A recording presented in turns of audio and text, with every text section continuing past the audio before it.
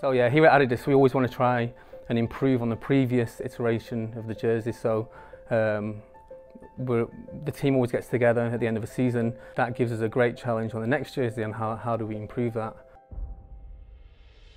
So with Adidas Rugby we've looked into what could be the best possible ingredients and then we've been evolving constantly since then. So we've taken basically the 2015 World Cup jersey to a whole new level there, having increased performance but not changing drastically the material. So it's been an evolution.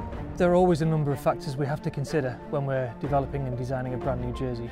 Number one, what works well, what doesn't work so well and what the, the team and the supporters want to keep as part of their, it's their jersey, it's the people of New Zealand's jersey. So we always have to consider the most commercial aspect for the team and for the supporters. So when we started the whole process and thought about new innovations for our new jersey, we started thinking about doing a fully fashion seamless woven piece.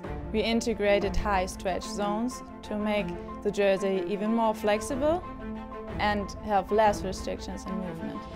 What we want to try and create with a jersey such as this is something that feels like a second skin for all of the players so that when they're actually playing there's no areas on the sides to grab in terms of tackling but at the same time there's a little bit of give so that when the guys scrummage there's enough stretch in the material to make sure that they can get uh, a good handful. Keeping the same ingredients but pushing the technology to a whole new level to increase performance benefits, being fit, being comfort, being lightweight, so it's 30% lighter than the previous jersey.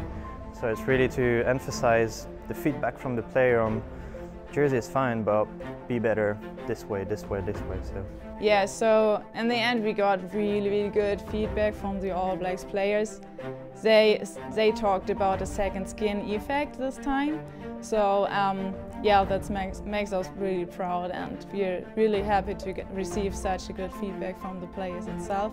Música